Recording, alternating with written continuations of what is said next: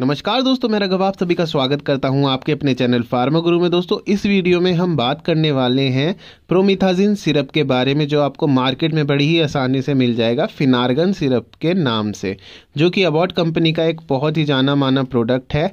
तो चलिए आज इसके बारे में डिटेल में बात करते हैं। चलिए, सबसे पहले बात कर लेते हैं, फिनार्गन सिरप या फिर प्रोमिथाजिन कौन सी कैटेगरी में लाई करता है? दोस्तों, ये एंटी हिस्टामिन मेडिकेशन है या फिर आप इसे एंटी एलर्जिक भी कह सकते हैं।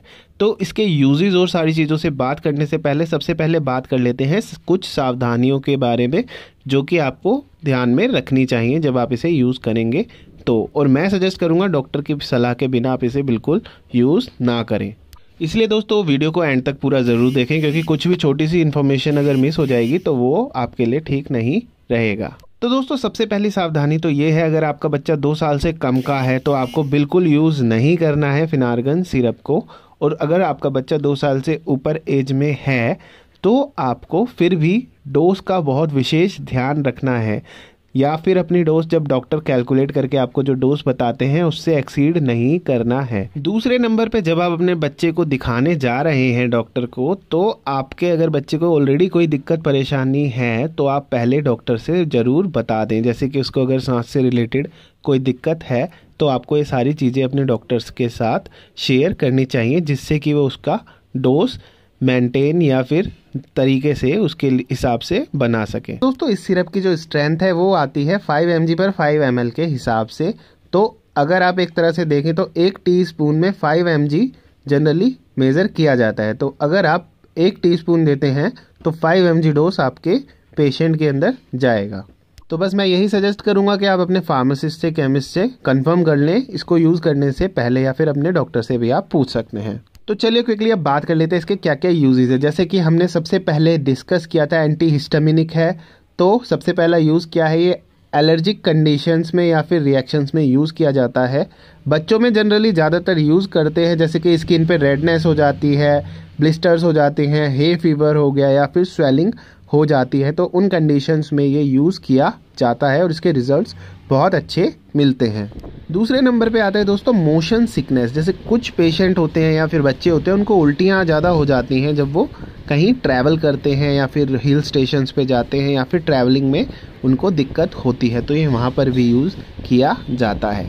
तीसरे नंबर पे आता है दोस्तों नोज़िया या फिर वॉमिटिंग अगर वॉमिटिंग और नोज़िया की भी दिक्कत है, जो कि एलर्जिक कंडीशन की वजह से है तो ये वहाँ पर भी यूज़ किया जा रहा होता है। चौथे नंबर पे आता है, ये इंसोमनिया जो कि होता है अगर बच्चे को नींद नहीं आ रही है तो यहाँ पर भी यूज़ किया जाता है, या फिर इसे आप स्लीपिंग डिसऑर्डर में भी यूज़ कर सकते हैं।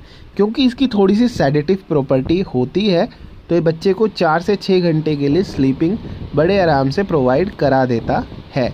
तो आप अपने डॉक्टर से कंफर्म कर लें, उनको पूरा अपनी कंडीशन बता दें, और जो वो अपने हिसाब से फिर आपके पेशेंट को वो अपने हिसाब से रिकमेंड कर देंगे डोज कितना देना है। तो दोस्तों, चलिए यूजेस के बाद में बात कर लेते हैं क्या क्या इसके साइड इफ़ेक्ट्स हो सकते हैं। देखिए 100 परसेंट तो नहीं है। जनरली साइड इफ़ेक्ट कब होंगे जब आप इसकी डोज को एक्सीड कर देंगे? तो जनरली कुछ साइड इफ़ेक्ट्स हैं जो कि बहुत रेयरली ही विजिबल होते हैं, जैसे कि ड्राई माउथ या फिर ड्राई थ्रोट मतलब मुँह सूखा सूखा हो जाता है नेज़ल कैविटी सूखी सूखी नाक जैसे सूखी सूखी हो जाती है, बच्चा उसे खुजाता रहेगा। और डोज बढ़ा देते हैं तो ब्रीथिंग प्रॉब्लम्स भी हो सकती हैं कॉन्स्टिपेशन हो सकता है डिजीनेस हो सकती है स्लीपिंग जैसे अब हमने बात किया था स्लीपिंग डिसऑर्डर में यूज़ किया जाता है तो स्लीपिंग से रिलेटेड भी प्रॉब्लम हो सकती है। फ्रिक्वेंट यूरिनेशन भी हो सकता है। तो दोस्तों, अब चलिए सबसे इम्पोर्टेंट बात कर लेते हैं, इसकी डोज क्या होती है प्रोमिथाजिन सिरप या फिर फिनारगन सिरप की। तो दोस्तों वन एम पर के जी बॉडी वेट दिया जाता है ये पेशेंट में। फॉर एग्ज़ाम्पल आप ले लीजिए, अगर आपके बच्चे का वेट 10 किलो है तो उसे 10 एम दिया जाएगा उसके बॉडी वेट के हिसाब से। अगेन मैं इस पॉइंट को फिर से हाईलाइट करना चाहूँगा। डोज कभी भी अपने आप कैलकुलेट ना करें। प्रोफेशनल्स की ही सलाह अवश्य लें। तो दोस्तों, चलिए बात कर लेते हैं। ये आता कितने का है? बहुत इकोनॉमिकल प्रोडक्ट है। सैंतीस से अड़तीस रुपये का आपको ये कहीं भी बड़ी आसानी से मिल जाएगा। तो आप इसे कहीं से भी बाय कर सकते हैं। तो दोस्तों आई होप मैं आशा करता हूँ आपके सभी डाउट इस वीडियो में क्लियर कर पाया हूँ मैं। लेकिन अगर फिर भी कोई डाउट है या कोई भी चीज़ आप पूछना चाहते हैं तो कमेंट बॉक्स में कमेंट करके पूछ सकते हैं, या फिर मेरे को अदर प्लेटफॉर्म पे भी फॉलो करके आप मुझसे अपने डाउट क्लियर कर सकते हैं। थैंक यू दोस्तों बाय बाय टेक केयर